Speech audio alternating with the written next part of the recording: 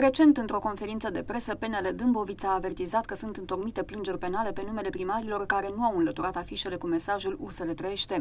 Liberalii au făcut și demersuri pentru ca respectivele materiale de campanie să fie interzise, adresându-se pentru început biroului electoral județean și mai apoi biroului electoral central, acesta din urmă admițând această solicitare. Am avut plăcuta uh, surpriză ca biroul electoral central să ne admită contestația noastră la decizia Biroului Electoral Județean și să uh, stabilească faptul că în județul Dâmbovița tipul de campanie dus de uh, Partidul Social Democrat și de acoliților este un tip de campanie mincinos.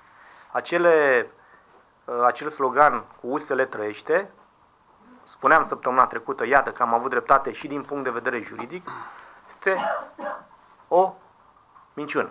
Reprezentanții PNL Dâmbovița au precizat că primarii au fost informați cu privire la această situație. În imediata apropiere, respectiv în data de 13 a 5 -a, Partidul Național Liberal a trimis o circulară către toate cele 89 de unități administrative, administrativ-teritoriale, uh, punând în vedere primarului să ia act de această decizie și în cel mai scurt timp cu putință să înlăture aceste materiale de campanie. Pe numele primarilor care nu au dispus înlăturarea respectivelor materiale de campanie, au fost întocmite plângeri penale. Am uh, întocmit un număr de 9 plângeri penale